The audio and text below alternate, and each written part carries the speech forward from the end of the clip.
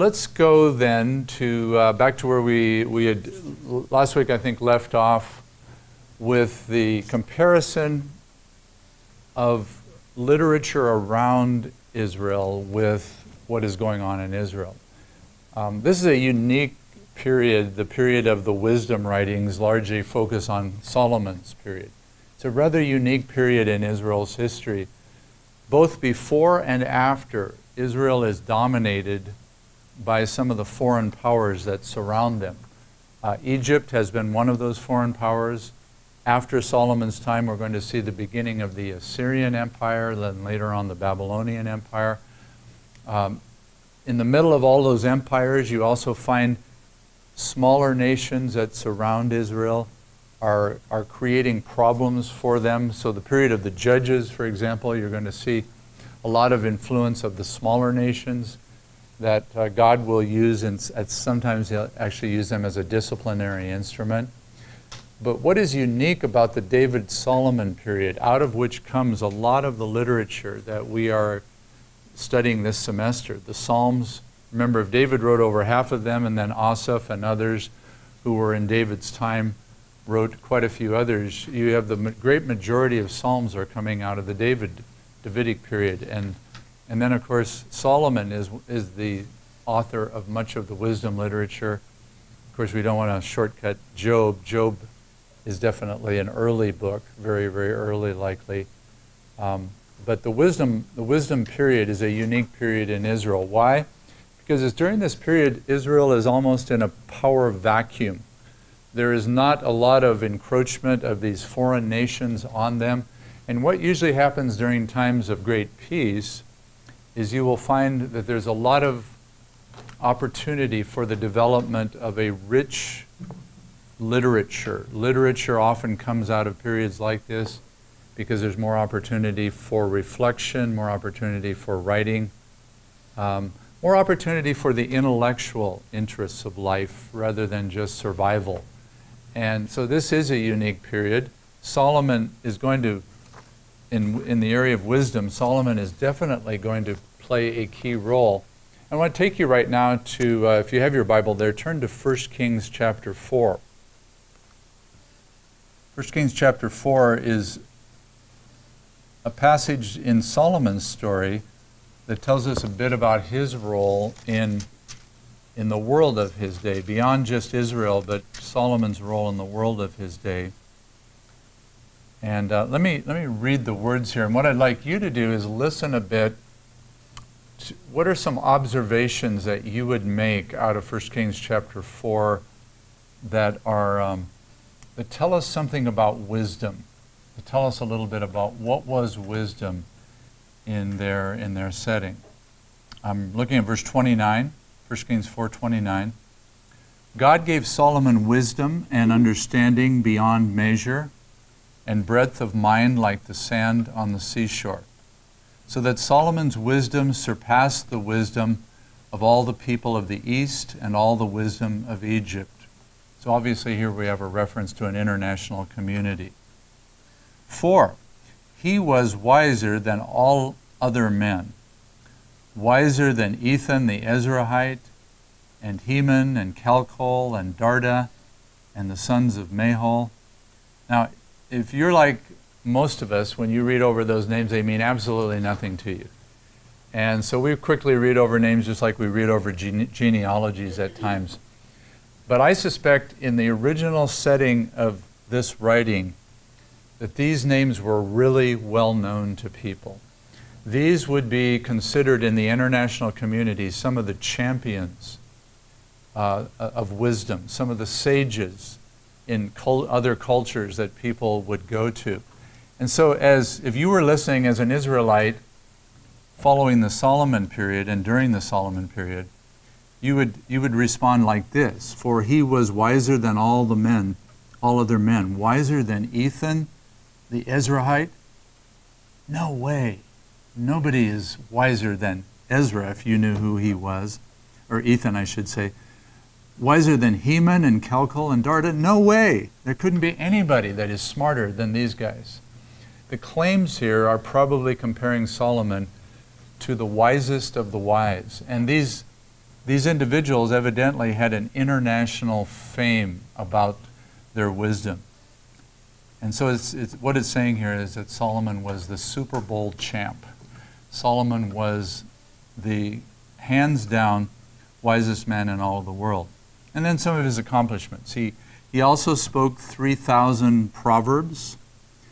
Now, here we have a great example of, of oral tradition. Uh, we don't have any statement here about him writing them down, but we do know that many of those spoken proverbs ended up in the written document that we call the Book of Proverbs because they're identified as being from Solomon. Solomon probably wrote many proverbs beyond the Book of Proverbs that we have. Um, he wrote, his songs were 1,005 songs, would likely be put to music. Uh, but they would especially be poems. He, would writ, he, he wrote poetry, um, just absolutely prolific in that area. Interesting section coming up. He spoke of trees, from the cedar that is in Lebanon to the hyssop that grows out of the wall. And he spoke also of beasts and of birds, and of reptiles and of fish. And people of all nations came to hear the wisdom of Solomon from all the kings of the earth who had heard of his wisdom. Um, I made a few comments myself, but what are some observations you make about this passage that help us to understand wisdom a little bit better? Besides, it's an international phenomenon. Obviously, there's an international phenomenon going on here, but what, what about wisdom do you, do you understand from this from this passage?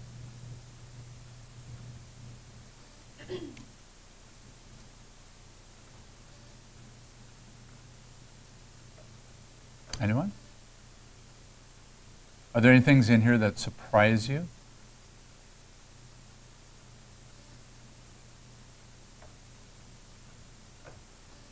Okay, Sean?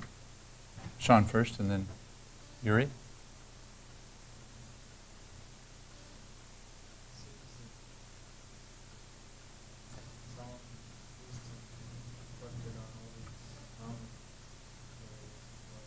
Okay.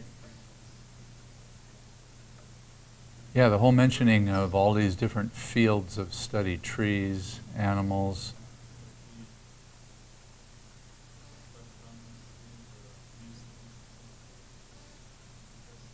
Okay. Yeah, probably, yeah, that's a great question. How did he use information about trees, animals, birds, and other things in his wisdom? Were they examples like, go to the ant, you sluggard, consider the ant's ways and be wise? Yuri, what were you going to say? Yeah, knowledge of nature. Good. Here's a great example, I think, where the created world is brought into the discussion of wisdom. Um, and I don't know what comes to your mind when you hear the word wisdom, but usually we, we almost think of more philosophical kind of wisdom, philosophical statements.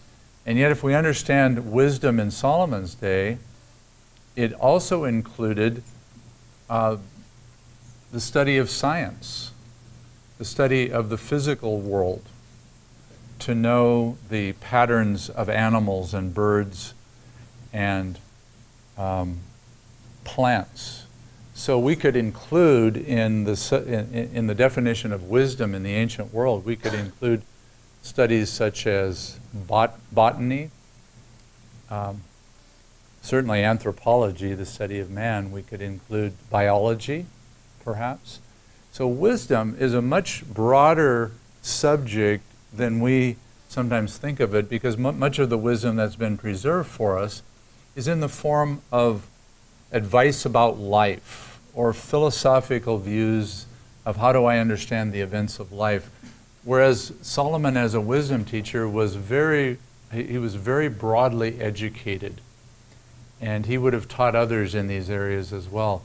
So I think if we look at Solomon's role in the ancient Near East, he was a champion, he was the best of the best, but a, a, wisdom teacher would have had knowledge of a great number of subjects. They were not just zeroed in. And, and in a way, it challenges, I think, it challenges our modern system of education, which produces specialists. If you go on in your education, even in seminary education, you're going to go on to become a specialist in something. And yet, the ancient idea of wisdom included the value of being a generalist, of being able to look more broadly at all of the subjects. And this is why I think that um, uh, the, the value of, of our education comes in. Often, our undergraduate education is going to be that, gen- that general training. But sadly, I think in in uh, much education today, even in an undergraduate setting, you're forced to become a specialist. You're forced to zero in on, on particular areas, and there is not that broad education that would have been true for wisdom in the ancient Near East. So, Solomon, I think, illustrates for us a, a better, uh, more balanced idea of wisdom, that it included uh, expertise in all of these areas. It also included a lot of observation uh, for a scientist has to observe his world around him, and Solomon would have been uh, been very, very skilled probably at doing that, and then at teaching others about what that might mean. Uh, now, Sean, you mentioned uh, another good point, and that is, I think it's out of this knowledge then that the animal world and the plant world become great illustrations. And you're absolutely right. The illustrations are now to teach us in another realm so, what we often see in wisdom teaching, Solomon's is a good example. We see that practical knowledge of life is going to be translated over as an illustration. Um, practical, I'm sorry, practical knowledge of the plant and animal world or of the physical sciences is going to become an illustration for us of how to live life. It gets back to something uh, we talked about last time and that is this order of the universe, that God has built order into the universe. We see it reflected in the sciences, we see it reflected in the study of man, we see it reflected in spiritual areas. And wisdom is trying to bring all these together, trying to bring this, this order. The, the Egyptians called it ma'at. Remember the idea of ma'at is that there is some kind of order in the universe that is reflective of a God who created the universe. So, um, any, any other observations on 1 Kings 4? Anything you see there that is helpful to us as we, as we understand wisdom? Franklin?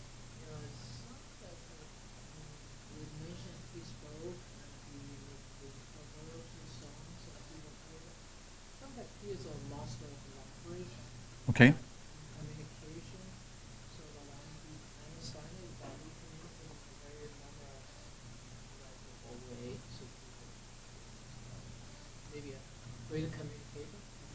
Yeah, I think it's safe to say that Solomon, um, any of these wisdom uh, champions, but Solomon himself would have been a great communicator in some way.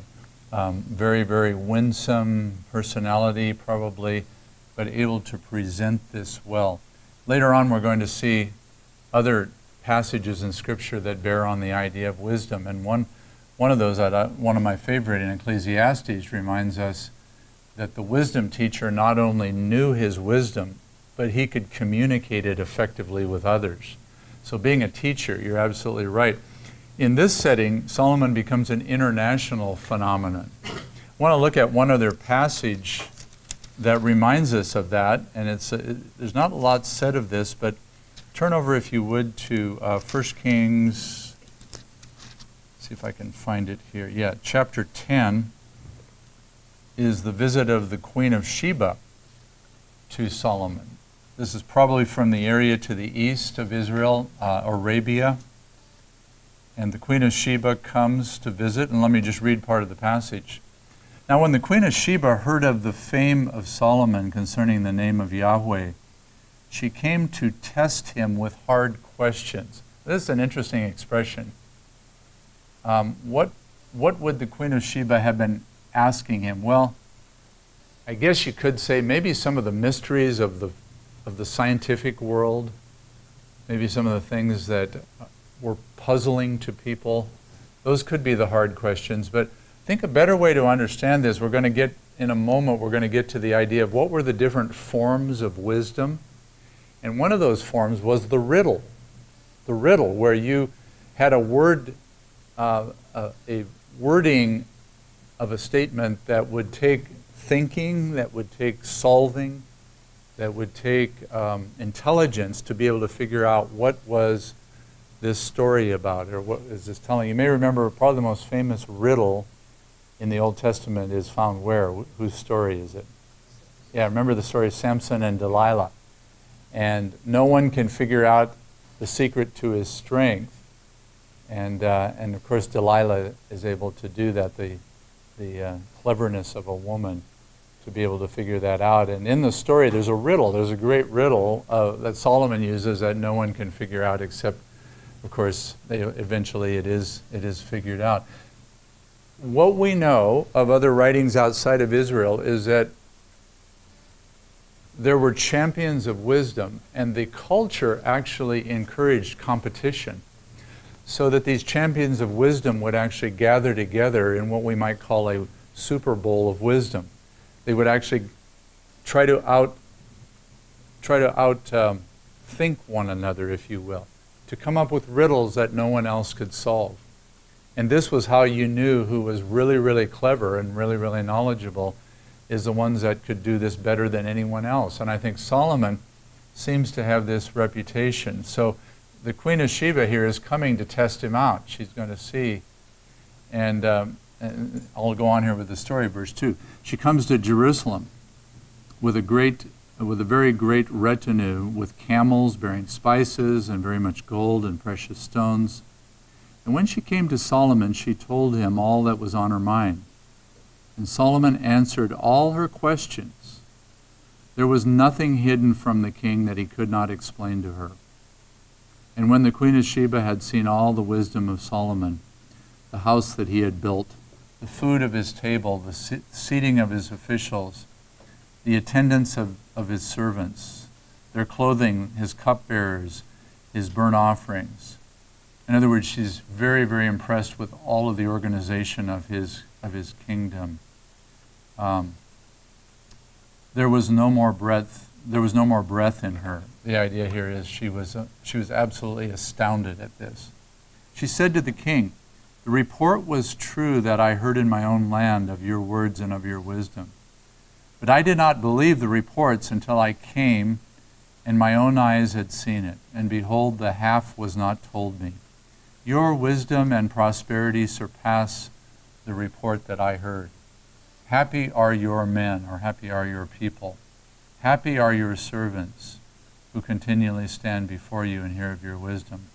Blessed be Yahweh your God, who has delighted in you and set you on the throne of Israel.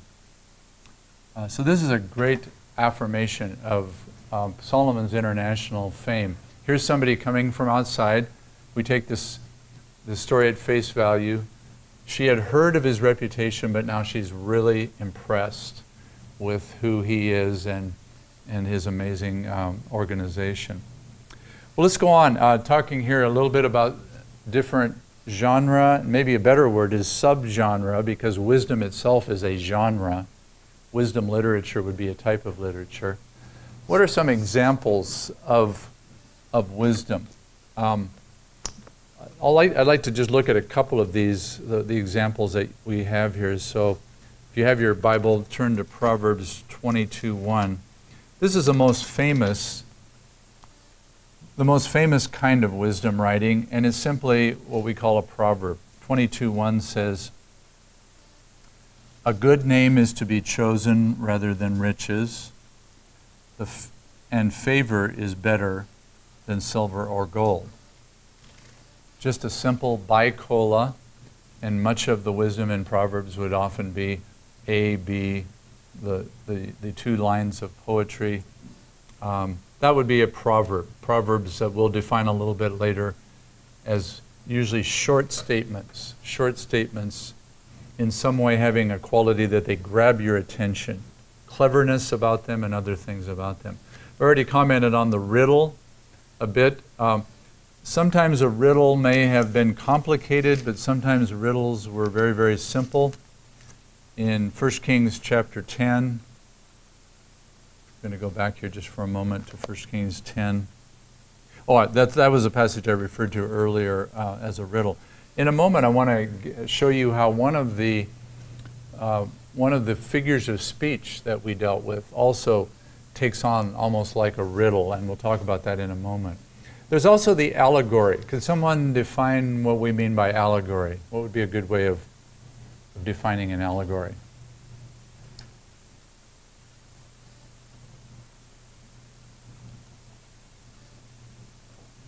Okay, Sean?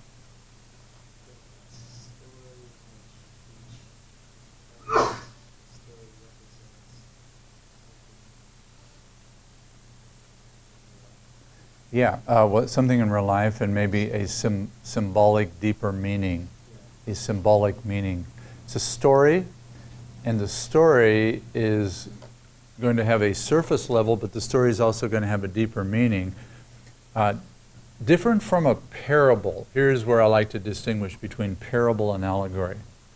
A parable, in most cases, Jesus used many parables, as you know he usually has one main point that is being made by the story, and the details will all contribute to the main point. But an allegory is different. An allegory can have a number of points.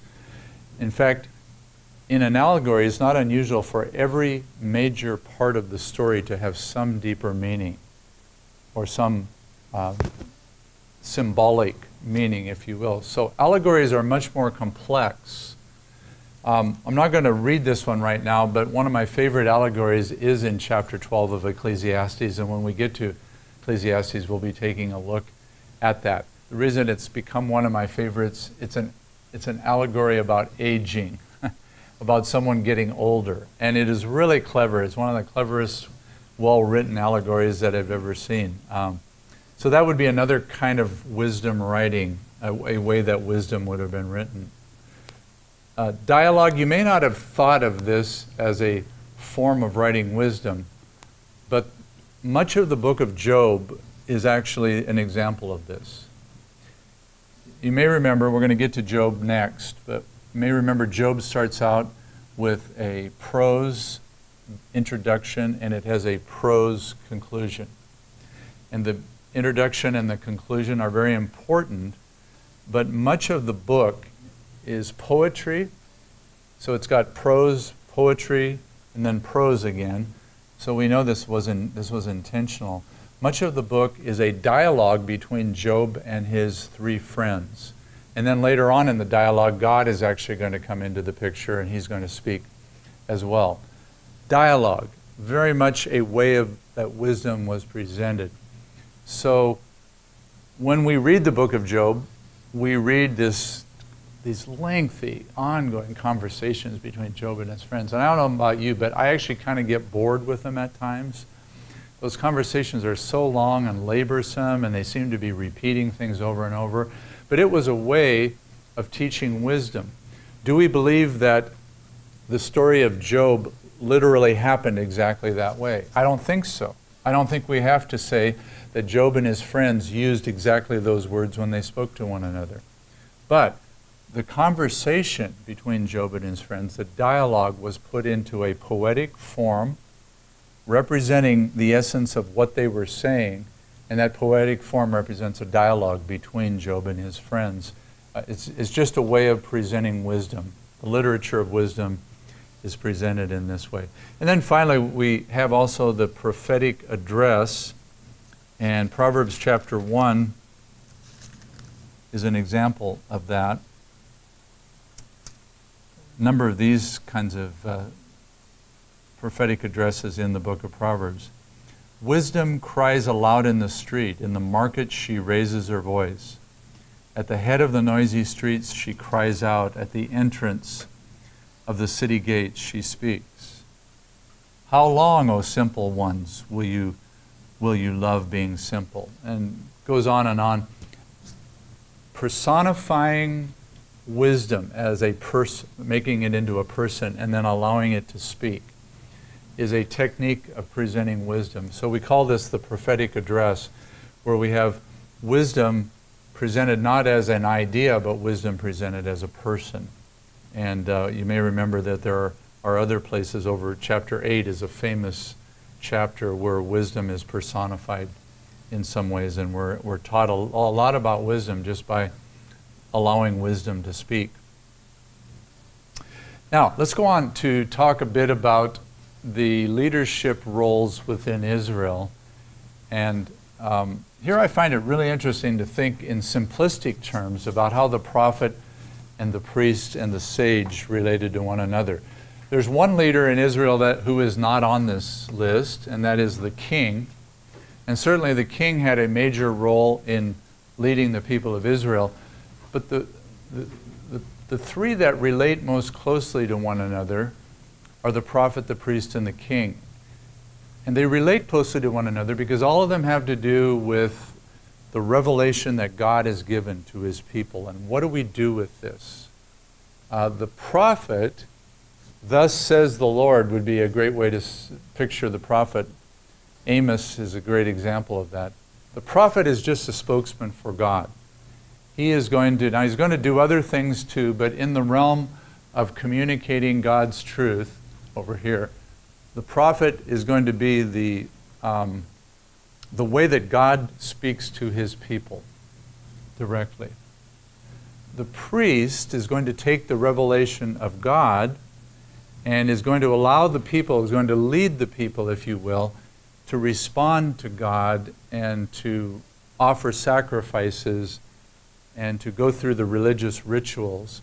And so, in a very real way, the prophet and the priest have opposite roles. The priest is bringing, a prophet is bringing a message from God, and the priest is leading the people to respond to that message in some way. Now, here's where the, the sage or the wise man has a very, very different role. He doesn't necessarily reveal new truth but he takes the truth that is already there, largely from Torah, from the Pentateuch, we would call it. The sage or the wise man takes that truth and leads people in a reflective process, leads the people of Israel in thinking about this and um, applying it in different ways to life. So the sage is not necessarily going to be saying, Thus says the Lord, but he's going to take what the Lord has said and he's going to relate it in a very practical way to everyday living. And that, of course, uh, fits very, very well with the description of the wisdom literature Proverbs, Ecclesiastes, Job. All of these have to do with how God's truth relates now to real life situations. It is a combining together of the spiritual, the practical, the revelation from God all put together in a package. This, the process of doing this, as I tried to picture here in the diagram, is taking place in a community of people.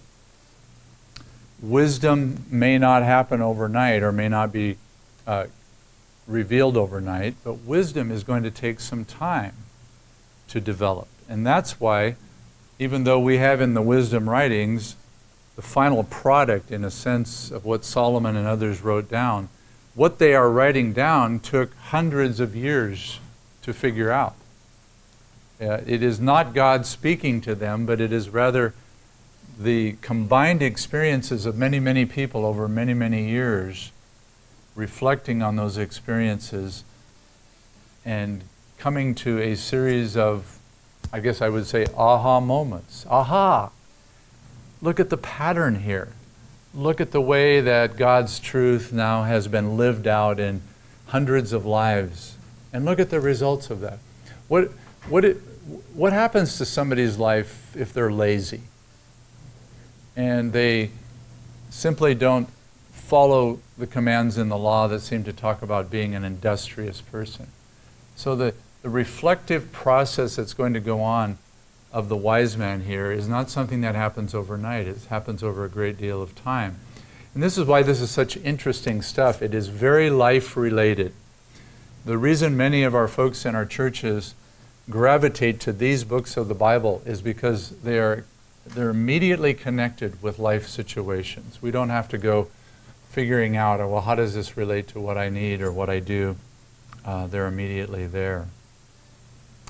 Prophet, the priest, the wise man, and Jeremiah 18:18 actually includes a statement of all three of them in the same passage. Were all leaders in their own way in Israel. They all served served an important role. Um, this is a question I've never thought about before, but it just came to my mind. Who would be the sage or the wise man today?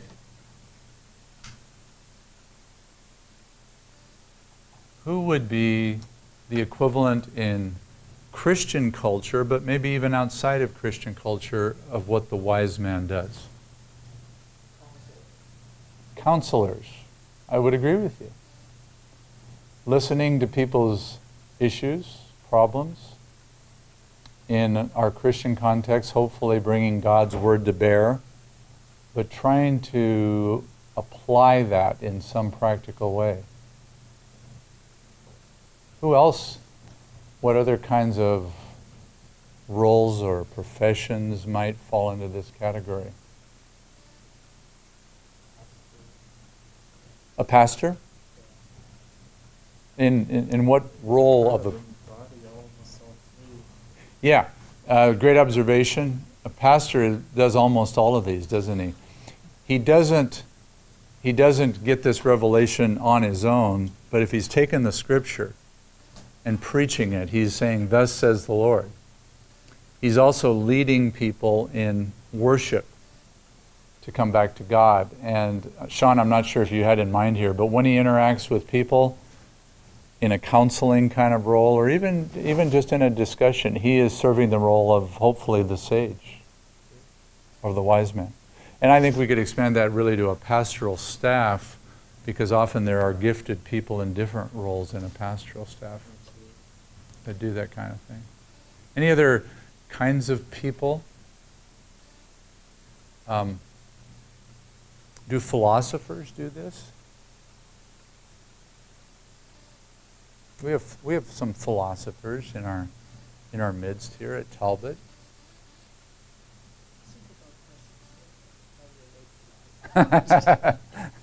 Did you all hear what Franklin said? Philosophers think about questions that don't really relate to life. yes, I. Um, do all of you know J.P. Moreland? Kind of like one of our gurus of the philosophers here, distinguished professor and so forth. Uh, I felt really good. I came on faculty about the same time as J.P. Moreland. I felt really good about a year later that I finally understood something he was saying. Uh, I, I, I, met in a couple of faculty groups early on, study groups and so forth, and for the longest time I had no idea what J.P. Moreland was saying. and uh, I'm not worried about being on tape here because um, I actually told him this many times. I said, J.P., when I first got to know you, I had no idea what you were saying.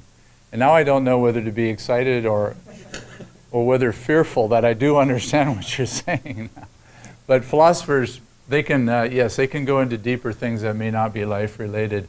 But I think philosophers would claim that they're helping us to ask the right questions. That's what philosophers are trying to do, trying to get us to ask the right questions. It's an interesting thought, though, to think of these different roles in our modern uh, society, in our modern setting as well. All right, let's take some of these ideas now and then and go to uh, several bullet points on the nature of wisdom, uh, what it is. We actually started this, I think, last time. Maybe we didn't. We, we were getting almost there last time. Uh, if we were to answer the question, well, what is wisdom exactly in the context of Israel? Um, one of the things we could say about it is it's a reflection on human behavior and how human behavior leads to either happiness on the one hand or sorrow on the other hand. And all of this is, is tied in some way with the truth of God. So we're not forgetting Torah. It's just we're not Amos saying, Thus says the Lord. We're actually wrestling and grappling with how God's truth now is going to relate to different kinds of human behavior. And then we observe over a period of time the results of that in a person's life. So this, this is what we would call a reflective process. This isn't something that comes overnight. This takes time, and thankfully, what we have here is the condensed wisdom of many, many people before us who have, for hundreds, thousands of years, tried to live the truth of God. You may remember what I said about the Psalms. What's so exciting about the book of Psalms, it's a collection of the cumulative religious experiences of many, many people in many different situations. And we stand generations later uh, looking back at all those generations, and we appreciate the fact that all of this has been kept for us so that we can use this. Now, the same thing with Proverbs, the same thing with Job and Ecclesiastes. Um, the wisdom, the cumul- cum- cumulative wisdom of many, many generations brought together for us in writing. But we're then asked to take this and reflect in our own lives. Um, here's what I like about this idea it means that God's truth is being taken both as a spiritual entity, but also it is very practical.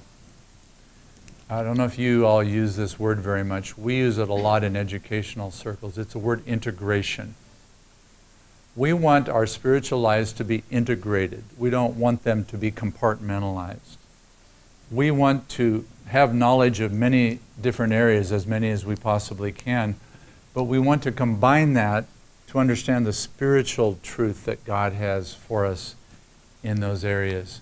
So, in a university, which of course Biola University is, in a university, what we would hope is happening in the Christian context is to take the truth that is being learned from many different fields of study psychology over here, the sciences over here, the arts over here, many different fields of study, and to bring those together under the umbrella of the truth of God and to wrestle with ideas that are there. In fact, this is getting a little off the subject, but it would, it would be my claim that the Christian university is one of the few places today that is truly doing this idea here of reflecting on life and trying to relate it to the truth of God. As many of you know, the secular university is forbidden to do that. Um, it's an interesting word, isn't it? University. Uh, what do you think in the origin, let's talk about just the United States, what do you think the origin uh, of the university was in our country? What did the word, what did the prefix uni mean? It means one, but one what? What did the uni, uni of university refer to? I thought I heard you say it close, the study of God, namely theology. Have you ever heard the expression, theology is the queen of the sciences? That was the beginning of American universities, which followed the model of European universities. So, in every university, starting out in America, which there was a religious base of some sort. I'm talking here about Harvard, Yale, all of your Ivy League schools now that will have nothing to do with religion, or very little to do with religion. Those schools originally started out with a core at the very center was some form of theology. Now, in those schools, often the form that that took was a course on ethics and it was a very common phenomenon for the president of a university to teach every student who attended there a course on ethics. Ethics would, of course, be combining the truth of the Bible with how you're going to practice your, your particular field, whatever it is law, science, or whatever. And that course was the center of their education. And then around that, they would go on to take the other courses that that were specialized courses in their areas. Um, there's a great expression, and I, I'm forgetting the book that it came from, that says we, we no longer have universities, we have multiversities. There is no longer this unified core or thought because, and here's, uh, here's a, I think, a mis- misinterpreted idea in our culture that has removed us from this, and it's the idea of separation of church and state. In the name of the separation of church and state, any secular organization that has a school is not allowed to bring together religious truth with the study of other fields. The only ones who do that effectively, in my mind, are a school like Biola University. And that's why I will, I mean, it's not just because my kids went here. I will argue all day long that a Christian university is not here to indoctrinate, but it's here to do exactly what education was supposed to do and that is to expose us to how various fields of study relate to the study of God. Uh, and now, of course, many people would feel like that's indoctrination, but it was originally at the heart of what a university was, was supposed to do. So, going back to the point here, wisdom is what a Christian university seeks to do today, and that is to um, explore many different fields of study using the truth of God as a part of that, of that ex- exploration to understand it a bit better.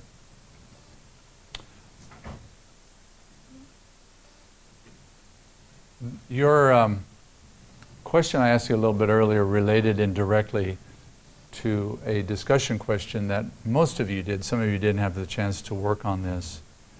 Um, let's talk about it right now and we'll take a break right after this. Biola University offers a variety of biblically centered degree programs, ranging from business to ministry to the arts and sciences. Visit biola.edu to find out how Biola could make a difference in your life.